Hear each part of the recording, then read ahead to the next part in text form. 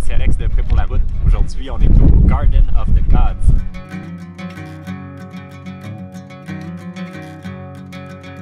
On s'est installé à Colorado Springs puisque c'est assez central parmi les points d'intérêt qu'on voulait visiter. Le camping de Garden of the Gods est à moins de deux minutes du parc. Sur le chemin, on peut y voir des maisons qui sont construites à travers les roches qui nous rappellent les maisons des pierres à feu. Et les chiens sont admis. Au Garden of the Gods, on peut se contenter de regarder les roches, mais on peut aussi les escalader.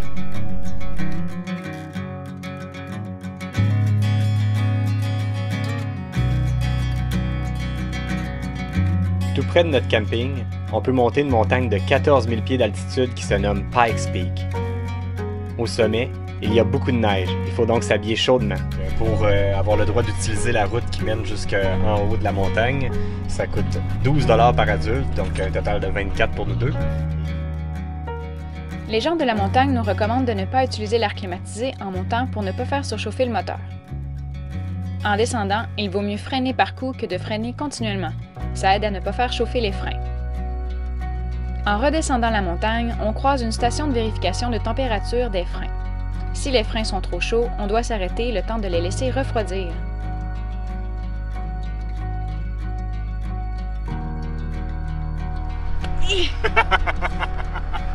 J'ai trop de bisous.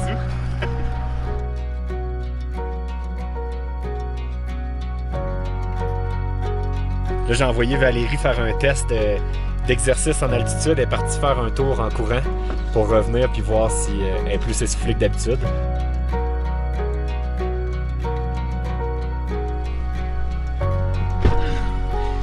God! La sprinteuse olympique, Valérie Beaupré. Attends. Oh my god! J'ai les mains gelées! On dirait que de faire un entraînement d'une heure. Oh. Voilà, c'est fait. fait que oui, on est plus essoufflé en altitude. Hein? Je pourrais faire euh, Blue Christmas. Oh, blue Christmas without you. Nous sommes dans le brouillard total. On voit complètement rien du tout en avant. Puis on sait que c'est un précipice qu'on direct l'autre bord. On voit que les curves ressemblent à ça, donc faut faire attention, Alex? Euh, je me suis mis sur les quatre flashs d'un coup qui arrive un véhicule en arrière de moi parce que je vais vraiment pas vite. Là, on vient d'arriver à, à la station de vérification de freinage.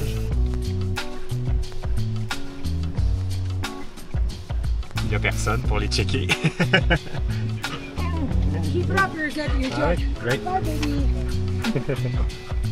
Bon, ben, on vient d'avoir la vérification. Les freins sont corrects, on peut descendre.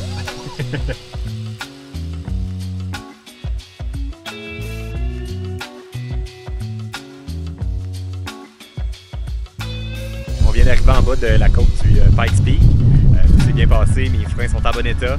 On n'est pas mort euh, dans, le, dans le brouillard en passant sous, euh, un précipice comme celui-ci.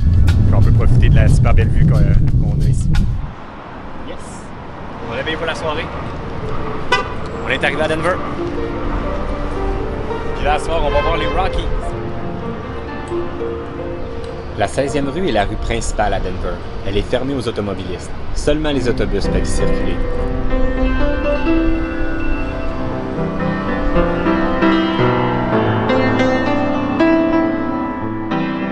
Sommes rendus au Coors Field à pied et nous avons utilisé les autobus gratuits pour revenir.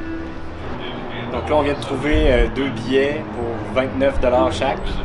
On va être euh, derrière le frappeur, ben, en fait, derrière le, le marbre, euh, un petit peu en hauteur, mais bref, on devrait bien voir ça. Okay, so Thank you so much.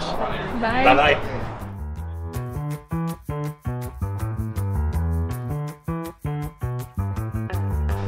Tell you about Dinger. Le monsieur qui euh, marmonnait disait euh, que la mascotte s'appelle Dinger, puis Dinger ça veut dire euh, home run, donc coup de circuit. Puis la mascotte c'est un tricératops parce que quand ils ont excavé pour construire le stade ici, ils ont trouvé des ossements de tricératops. Donc bref, c'est la raison pourquoi c'est ça leur mascotte.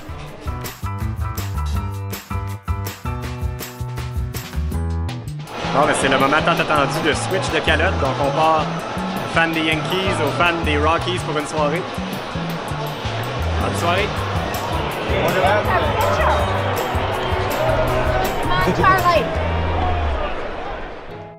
C'est déjà la fin de notre semaine au Colorado, un endroit magnifique avec des tonnes de climats différents. Demain, on se dirige vers Moab en Utah, mais juste avant de quitter le Colorado, on avait un dernier arrêt à faire.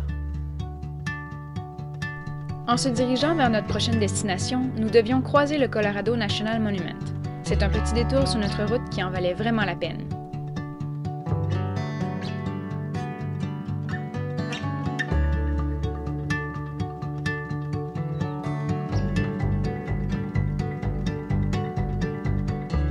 On est dans la ville de Fruita, Colorado. On vient de faire une route euh, suicidaire dans les mots d'Alexandre. Euh, la vue est incroyable, c'est vraiment beau. On a acheté une passe euh, à 80 pour avoir accès pendant une année complète, je pense. je pense que oui.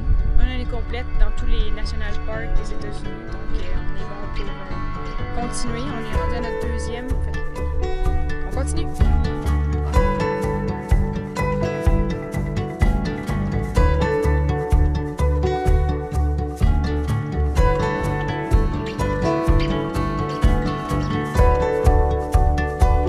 vous abonner à notre chaîne, cliquez ici.